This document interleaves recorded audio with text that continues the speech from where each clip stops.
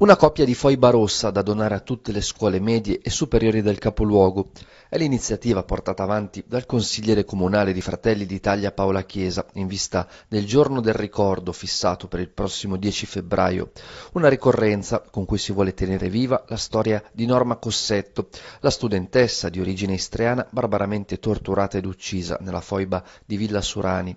È doveroso, ha sottolineato il consigliere comunale Chiesa, far conoscere alle nuove generazioni questa triste pagina della nostra storia.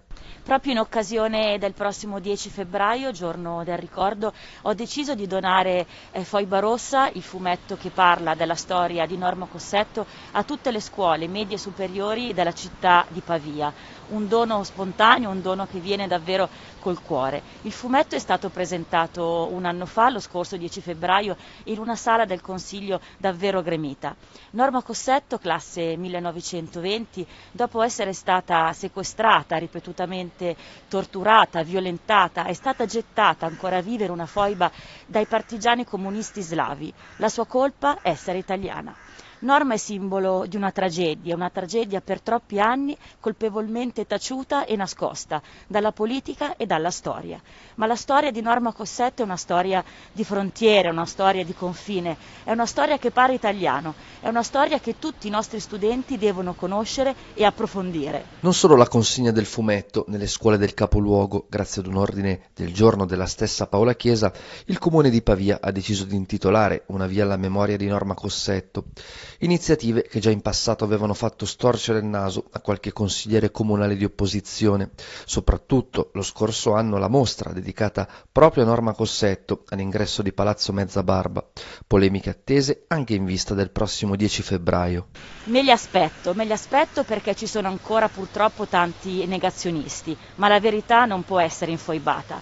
Il prossimo 10 febbraio presenterò un nuovo volume intitolato proprio Verità infoibate a cura di eh, Biloslavo, una firma di punta del giornale, Matteo Carnieletto con la prefazione di Toni Capuozzo. Sì, mi aspetto le polemiche, però ripeto, la verità non può essere infoibata, è stata taciuta per troppi, per troppi anni. Ha contattato già le scuole, c'è qualche preside che si è opposto, qualche insegnante? Per il momento ho avuto solo ringraziamenti dal dirigente, dai dirigenti scolastici. Io insieme al libro ho legato una lettera in cui ho spiegato il perché di questa donazione. Per il momento solo ringraziamenti. Non accennano a placarsi le polemiche sui morti delle foibe e la tragedia degli esuli di Giuliano Dalmati. Dopo la presa di posizione negazionista dell'Associazione Partigiani di Rovigo e i dissensi sulla realizzazione e la distribuzione del film Red Land, ora è la volta di questo libro a fumetti dedicato alla tragedia di Norma Cossetto, la giovane italiana violentata e infoibata dai partigiani titini alla fine della Seconda Guerra Mondiale e insignita molti anni dopo di medaglia d'oro alla memoria dal Presidente della Repubblica Ciampi. Finalmente una legge dello Stato nel 2004 istituisce il giorno del ricordo ricordo e dice anche che le scuole devono approfondire il tema e allora la Regione con il suggerimento, la richiesta di Federesuli ha voluto dare questo fumetto Foiba Rossa nelle scuole medie del Veneto. E chi dice che questo invece fomenta l'odio? Chi parla di odio è perché ha cattiva coscienza. Una risposta al PD provinciale che sempre oggi in un comunicato parla di deriva estremista, ma soprattutto all'Associazione Partigiani e a Giuliano Vernier che parla di vicenda nata dal fascismo. L'Ampi è completamente fuori dal tempo perché dovrebbe semplicemente chiedere scusa per essere l'erede morale eh, di quella parte di storia. Eh, quando si chiede di, di, condannare le leggi razziali, la destra l'ha sempre fatto. Perché l'Ampi non ha ancora avuto il coraggio di chiedere scusa? Assessore che non si limita all'associazione Partigiani, ma chiama in causa anche l'ex senatrice montebellunese Laura Puppato, che più di documento storico parla per questo libro di strumento di propaganda.